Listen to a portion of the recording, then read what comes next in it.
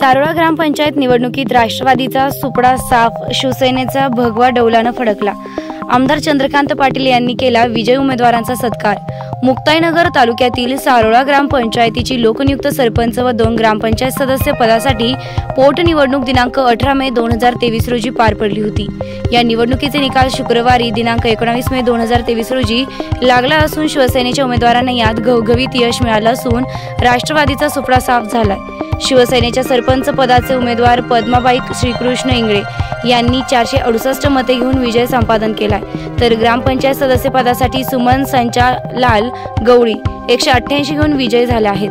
यावेळी विजय उमेदवारांसह सारोळा गाववासियांनी आमदार चंद्रकांत पाटील यांच्या निवासस्थानी एकच जल्लोष केला व गुलाल उधळून आनंदोत्सव साजरा केलाय.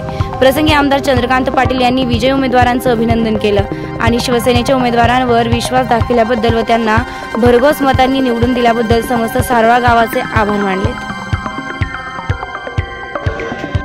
झाला तरी परत आम्ही आमदार साहेबांच्या नेतृत्वावर व गावाच्या गावाने गावकऱ्यांच्या नेतृत्व गाव गावकऱ्यांच्या मदतीने आमदार साहेबांवर विश्वास ठेवून आमच्या लोकमुक्त सरपंचाला भरघोस मतांनी जेम जेमतेम चोपन्न मतांनी विजय करून दिल्याबद्दल सर्व गावकऱ्यांचे मी आपल्या माध्यमातून हार्दिक आभार मानतो. आणि ग्रामपंचायत सदस्य त्यामध्ये किती जागा आल्या आपल्या? आपल्या तीन पैकी दोन जागा आलेल्या आहेत. एक जागा काही मतांनी कमी मतांनी पराभूत झाली.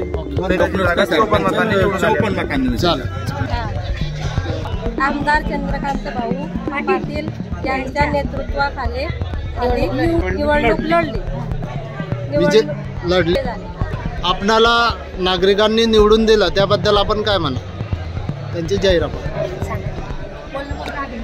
निवडून दिल्याबद्दल गावकऱ्यांचे जाहीरांच्या गावात राहिलेले विकास कामं करणार. अशाच अपडेट बातम्यांसाठी तसेच ऐतिहासिक धार्मिक आध्यात्मिक कथा कीर्तने प्रवचने आणि माहितीपूर्ण व्हिडिओज बघण्यासाठी लोकप्रिय मुक्ताई वार्ता मराठी न्यूज चॅनल यूट्यूबला सबस्क्राईब करायला विसरू नका ही विनंती. धन्यवाद.